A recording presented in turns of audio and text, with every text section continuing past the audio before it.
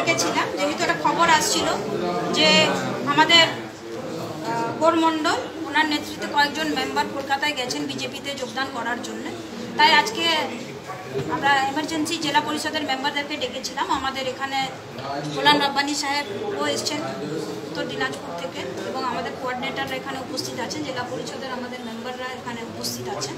এবং এখানে আমাদের সঙ্গে এখন আপাতত সতেরো জন মেম্বাররা উপস্থিত আছেন এবং তিনজন দুজন অসুস্থ, আমাদের শেখ কেতাবুদ্দিন এবং নীলুফর ইয়াসমিন ওনারা অসুস্থ, কিন্তু ওনাদের সঙ্গে, দুজনের সঙ্গে আমার ফোনে কথা হয়েছে এবং উজ্জ্বল চৌধুরী, উনি প্রচারে মালদার উনি আমাদের প্রার্থী এবং উনি প্রচারে আছেন আইহোতে, তাই উনি এখন আসতে পারেননি, কিন্তু ওনারা আমাদের সঙ্গেই আছে তো যেটা বলা হচ্ছে, কলকাতাতে যে মেজরিটি মেম্বাররা বিজেপিতে যোগদান করলেন, এটা পুরোপুরি ভিত্তিহীন খবর এবং আপনাদেরকে আমরা দেখাতেও পারি যে আমাদের সতেরো জন মেম্বার এখন আমাদের সঙ্গে উপস্থিত আছে। এবং যেটা বললাম যে তিনজন মেম্বার তাদের সঙ্গে আমি ফোনেও কথা বলেছি তারা মালদাতেই আছে। তো এই যে খবরটা এটা পুরোপুরি ভিত্তিহীন এবং যারা আজকে যোগদান করলেন তাদের সকলকে গোর মণ্ডল সহ দল বিরোধী কার্যকলাপের জন্য আমরা সাসপেন্ড করছি।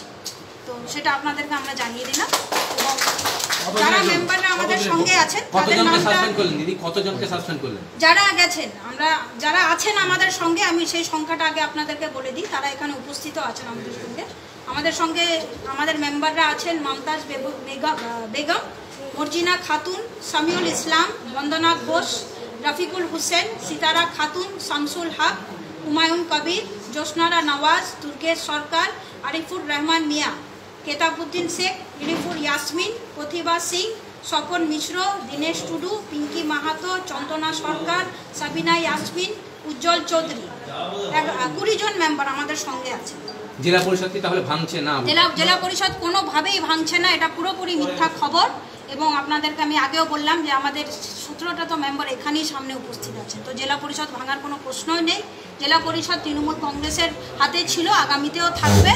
এবং এখন যেহেতু কোড অফ কন্ডাক্ট চলছে এবং সামনে আবার আড়াই বছরের সময় আসবে তখন আমরা আবার সঠিক স্টেপ নিয়ে নেব। আমাদের রাজ্য নেতৃত্বর সঙ্গে কথা বলে। তো আপাতত আপনাদেরকে এটাই কতজনকে সাসপেন্ড করলেন? এখানে আমাদের কাছে যে খবর এগারো জন জয়েন করেছেন কলকাতায় তাদেরকে সাসপেন্ড করা বলছি এখানে বৈঠকে তো আমরা চোদ্দ জন মেম্বারকে দেখতে পেলাম। যারা জেলা এসেছিলেন চোদ্দ জন ছিল তারপরে আরও তিনজন এসছে। তো এখানে আমাদের সঙ্গে সতেরো জন মেম্বার উপস্থিত আছে। এবং আমরা সবারই সইও নিয়ে পিঙ্কি মাহাতোর কথা আপনি বললেন পিঙ্কি পিঙ্কি মাহাতো আসেন বাড়িতে বিয়ে আছে। ওনার বাড়িতে বিয়ে আছে আজকে আমাদের সব মেম্বাররা ভোজ খেতেও যাচ্ছে এবং ওনারও সই আমরা নিয়ে দিদি বৈঠকের সময় স্বপন মিশ্র রেগে গিয়ে বেরিয়ে গিয়ে আপনার বিরুদ্ধে ক্ষোভ প্রকাশ করলেন যে প্রকাশ করলেন যে এরকম করে চলতে পারে না একজনের অভিনীতকালে না না এটা পুরোপুরি খবর। ওনার কিছু একটা সমস্যা ছিল সেটা আমরা মিটিয়ে দিয়েছি এমন কোনো বড় ব্যাপার না। তারপরে উনি আবার মিটিংয়ে বসেছেন